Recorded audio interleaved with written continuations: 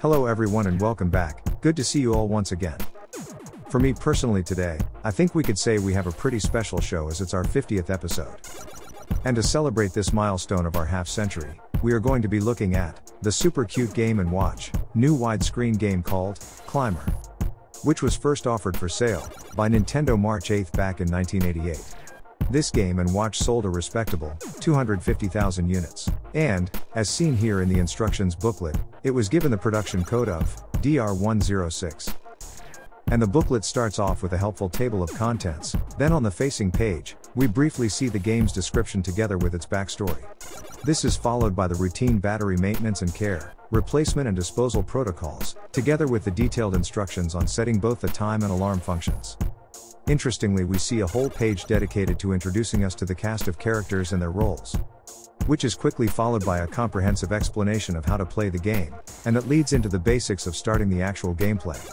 Which then leads us into the various ways the player has available to them to score points, coupled with how a miss or lost lives are deducted. And lastly, we see the bonus rounds, which finish up what I consider to be the introduction section of this booklet. The next seven pages are dedicated to the main techniques that Nintendo recommend during gameplay.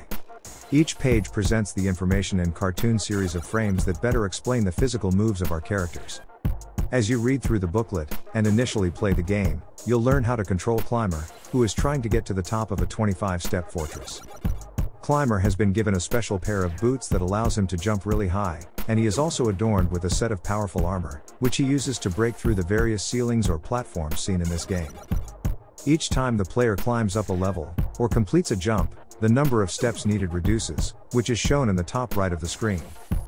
Then once you clear the level, which is known as a phase, you move on to the next phase, and the number shown resets to 25 once again.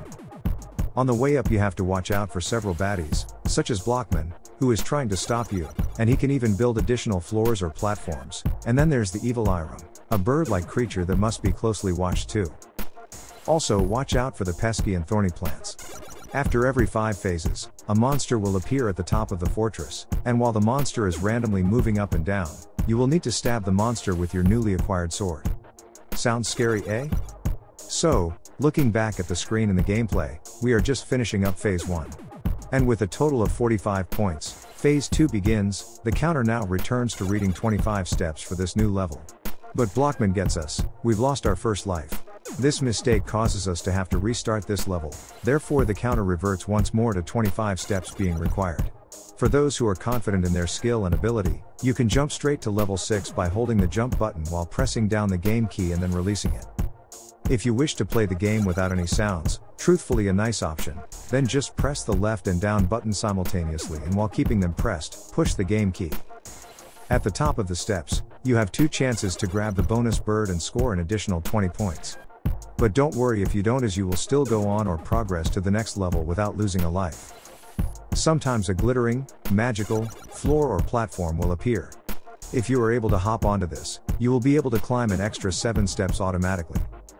Remember you can go to the right of the screen from the left side and back to avoid enemies or collect bonuses. This is the sixth handheld, in the new widescreen series of Game & Watch, that we've looked at and reviewed, with the two remaining games episodes following shortly. The case is a pale orange, surrounded by a white border and capped off with a painted, slightly off orange metal faceplate. Issued initially in the classic cardboard games box, with styrofoam tray, batteries and booklet, this was much later condensed down to a mere blister pack, known as a carded variant, when sales flagged and unsold old stock needed shifting. Two years earlier, there was a previous issued game and watch called Climber, it was from the Crystal Screen series in 1986. These were very unusual handhelds, whose screen, or playing area was transparent, and they were pretty fragile too. Another revisit of sorts happened, in 2002, when the Game Boy Advance, Game & Watch Gallery 4 reissued Climber as an unlockable, but sadly it was only playable in the classic mode, it also required the accumulation of 130 in-game stars. So, to finish up, let's see a montage of images of today's star in focus, and remember, when Climber bumps into Blockman, or hits Eyerom during a jump or even falls off the platform, one life is lost or a miss is scored. Additionally Climber will also drop down 7 floors, and he will need to restart the climb from there. Lastly, as with most game and watches, after 3 misses the game ends. Well, that just about wraps up our 50th episode. Hopefully you enjoyed it. If so, please do me a favor and hit that like button. Think about leaving a small comment. Some encouragement is always appreciated. And obviously, if you're not one of our small, but elite band of subscribers, please subscribe and join us on our quest for all things Nintendo. And lastly, whatever you do, I'd like to offer you a big and genuine thank you for actually joining us here today.